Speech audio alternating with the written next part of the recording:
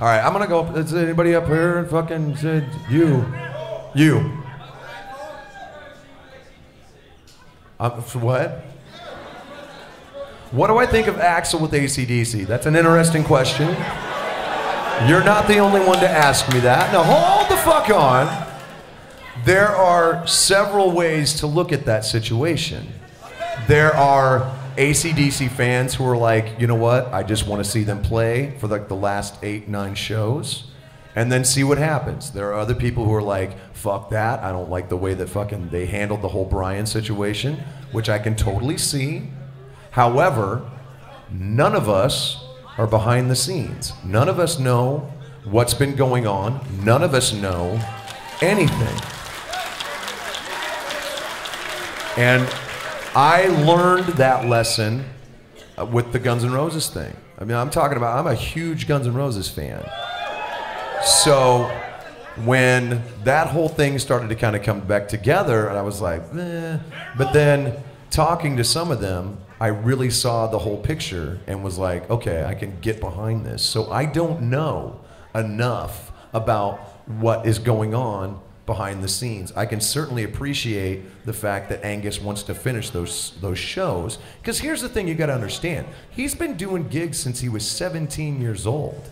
You know what I'm saying? He has been giving everything, and I mean everything he's fucking got, night after night after night after night for fucking 50 years. Who are we? Who are we to decide when it's time for ACDC to be done or not? Am I fucking right or am I fucking wrong? Is it gonna be the same? No. Nothing's ever the same. I don't think it was the same after fucking uh, Phil left. So it's never to be the same. You know what I'm saying? For me, the biggest bum out for me is that Malcolm won't be a part of those shows. That's the saddest part of that. You know what I'm saying? I mean, I feel bad for Brian as a singer, but the saddest part of that is that Malcolm won't be a part of those last eight shows, and he fucking should be. You know what I'm saying? That man has written every fucking song they did. So that's me. That's me. You know, I could go either way with it, but because I don't know a lot about it, I'm not going to make any judgments. There'll be no follow ups. They all have to be submitted in ink 24 hours in advance and only in Latin. You, sir.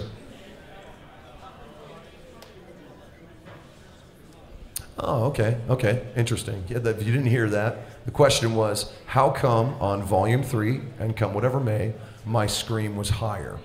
And there's a very simple reason for that. Because I'm a fucking mental person. And I, I don't want to say get bored easily, but I look for different challenges, even sometimes if there isn't one there. And for me, I was kind of starting over on volume three anyway because that's right around the time I quit drinking for the first time. So everything was really fucking fresh and really new, and I was kind of trying to get my life together, and, and uh, more to the point to where I am today. And for me, I was trying different vocal styles. Now, in retrospect, it was a terrible idea. No, I trust me. It was uh, it was actually harder on my voice to do the the shriek scream than it was to do the guttural stuff. I didn't know that because I'm not a fucking doctor. And then I went to a doctor. He's like, "Oh, look at that! Oh!" Now, mind you, I've got a scope in my throat, and I'm like, "What?" He's like, "Ooh." It doesn't look good. And I'm like, oh, Sorry, it's a long scope.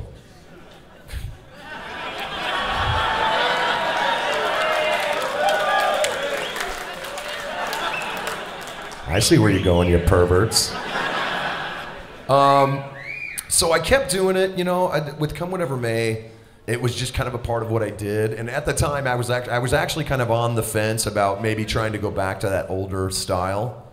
Um, and what I decided on was kind of an amalgam of the both. You know, we're trying to do like a, a deeper, higher one, the same type of approach, and not going completely back to the guttural stuff. Kind of trying to play in between the two, and that's kind of what I do today. Um, because a, it's not nearly, sorry, fucking that thing was there, and it was just like, you're not gonna get through this.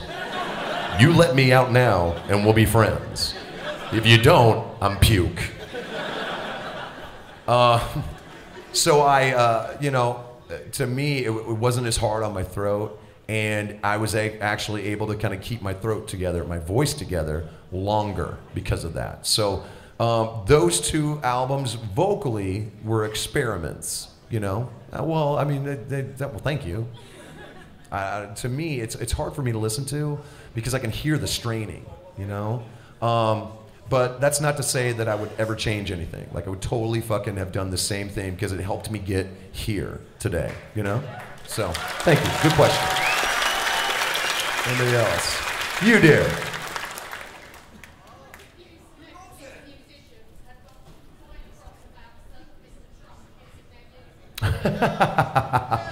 now, how do I feel about that? Oh. Oh, is there one? Okay. I don't know if you heard the question. She asked, Is there one particular song that I would like to see Donald Trump use?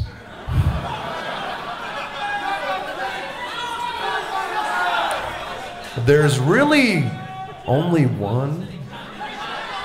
And it's not so much Custer as it is Disasterpiece. Yeah, that's gonna give me points.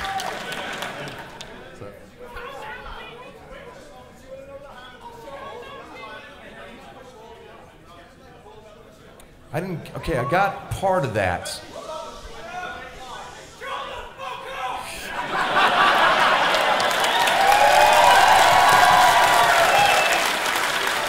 I couldn't have said it better myself. All right, please. What song's live?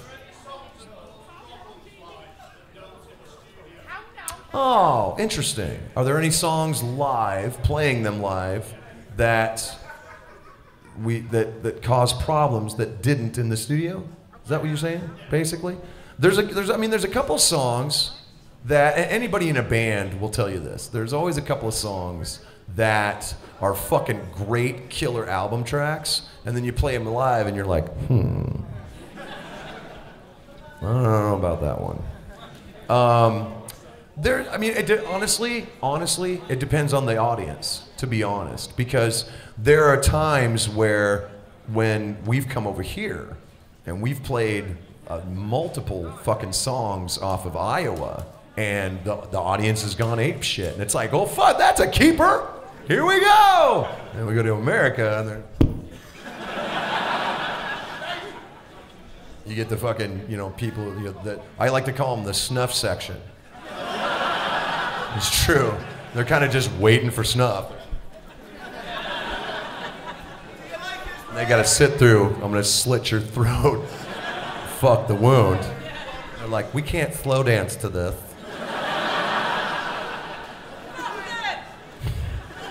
I'm not saying it's here. I'm saying it's in the. It's mostly in the states, but it's so it, it really kind of depends on your audience. You know, like you kind of like sometimes like like with the, the last tour we did every one of those fucking songs went over the shit, right? And then we hit the States, and it was just kind of like, oh, there's a dead spot there. What the fuck's happening? The hell's fucking happening? And then you play the hits, well, the quote unquote hits, and they're like losing their shit. And then they just kind of fucking sit back down again. It's like, oh, fuck you! You know? You're doing Disasterpiece, you want to pull your fucking head off and kick it in the audience. And they're just kind of like, oh, it was really well played. Was good. So it kind of depends, you know. I'm going to do two more. You, dear. Yes, you. Yes.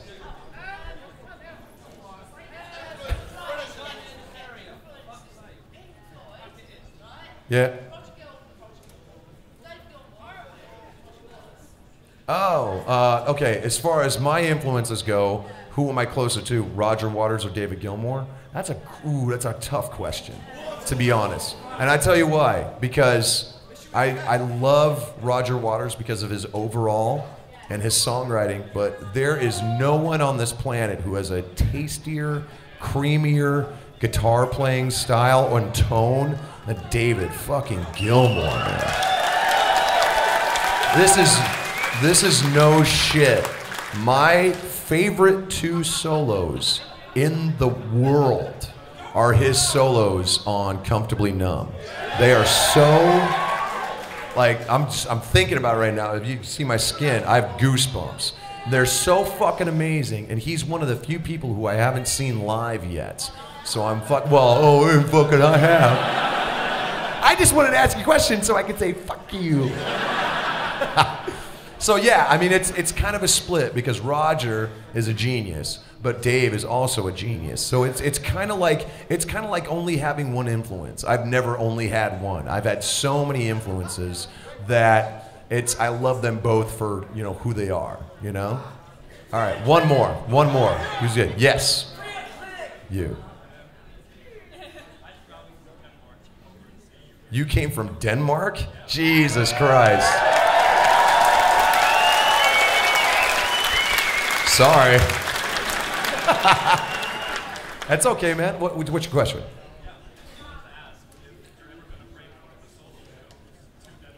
Interesting. Interesting. Okay. I get asked this a lot, and uh, people always ask me if I'm going to do more of these solo acoustic shows around the world, not just Europe and, and Scandinavia, but around the world. And the answer is yes. I'm going to do.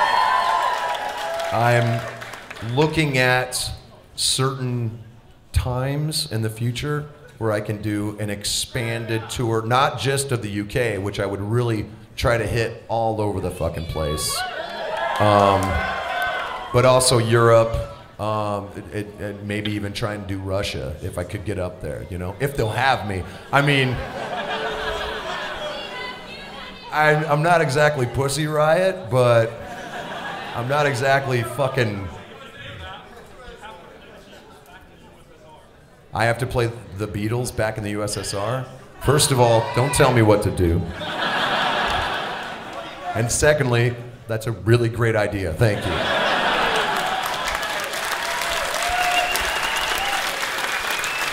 All right, I tell you what, one more, and then that's it. You. Sorry? Oh, Burbank 3. Oh, fuck. Oh, shit. Okay, here's the thing. Here's the thing. I don't know if some of you knew this. Uh, we were putting out covers EPs with, with Stone Sour. And we had talked about doing three. What, the first one was Meanwhile in Burbank. The second one was uh, straight out of Burbank. And you wonder why three hasn't come out yet. The third one was supposed to be called No Sleep Till Burbank. Now, there are a couple reasons for that. Uh, three, well, first of all, I don't think we're going to release the third one. Hold on. Hold the fuck on. Because, honestly, two came out so great that we kind of wanted to end on a high note. Now, we recorded the, co- the covers and we're going to mix them, but we are actually going to use them as extra material to promote the next album. So you will hear it. It's just going to be in different places, not all together. And who knows? Maybe at some point we'll come back and retroactively put No Sleep Till Burbank back together. So it's not coming out soon, but I guarantee you will hear the songs soon. Okay? I am to take a piss and I'm gonna come back out and we're gonna sing the rest of the fucking night away. Does this sound all right to you? All right, give me some house music. Guys, I will be back in like two fucking minutes. Thank you so much. I fucking love you.